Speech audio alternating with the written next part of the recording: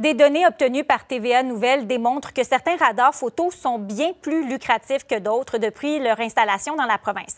Celui qui se retrouve à la première position du classement se situe à Québec, sur l'autoroute du frein Montmorency. Elodie, c'est là que s'est produit le tragique accident dans lequel quatre personnes ont perdu la vie en 2021.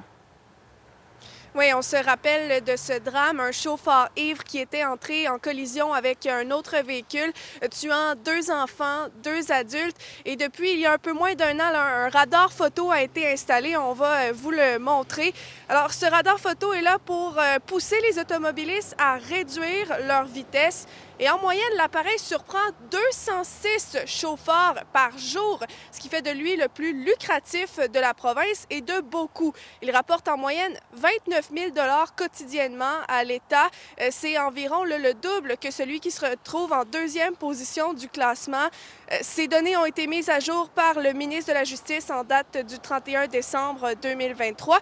Et l'objectif premier lors de l'implantation de ces appareils, évidemment, c'est la sécurité routière. Et selon le ministère des Transports du Québec, les statistiques démontrent de l'efficacité de ce type d'appareil. Je vous invite donc à écouter le porte-parole quand on regarde les données réelles en matière euh, de vitesse, et c'est ça qui compte pour le ministère des Transports, parce qu'on le sait, la vitesse peut être en cause dans plusieurs accidents, bien, les données sont vraiment probantes depuis euh, l'implantation de ces différents appareils.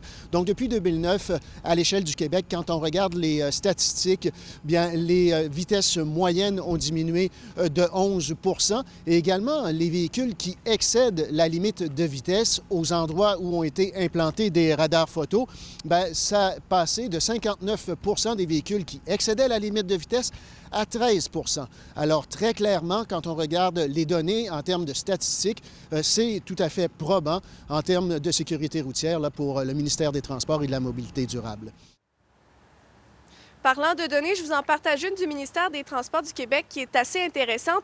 Avant l'implantation du photoradar, il y avait 66 automobilistes sur 1000 euh, qui passaient sur le feu rouge. Maintenant, c'est plutôt 1 sur 1000. Mais il y a certaines personnes qui croient que ce n'est pas assez, qu'il devrait y avoir plus de mesures pour rendre cette intersection plus sécuritaire. Les détails à venir. Merci, Elodie. Au revoir.